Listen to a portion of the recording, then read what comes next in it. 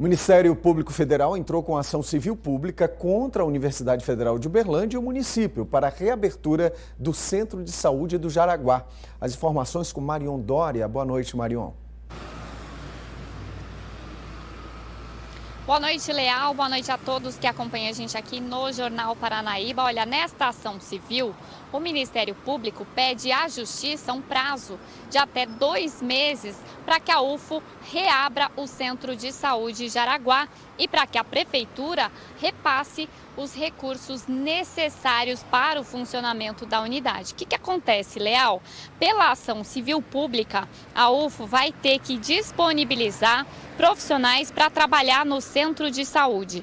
E olha, vale lembrar que por uma decisão da Justiça para melhorias ali no local, o Centro de Saúde de Araguá chegou a ser fechado no ano de 2021 para reformas. E as obras terminariam no ano passado, mas a unidade não voltou a funcionar.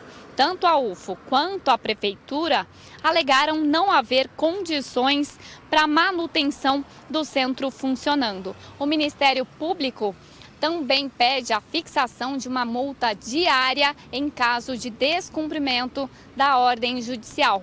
A nossa equipe, a nossa produção entrou em contato, tentou contato com a prefeitura, tentou contato também com a UFO, mas até o momento não obtivemos retorno e a gente segue acompanhando por aqui. Eu volto com você aí no estúdio. Leal. Ok, Marion, muito obrigado. Boa noite.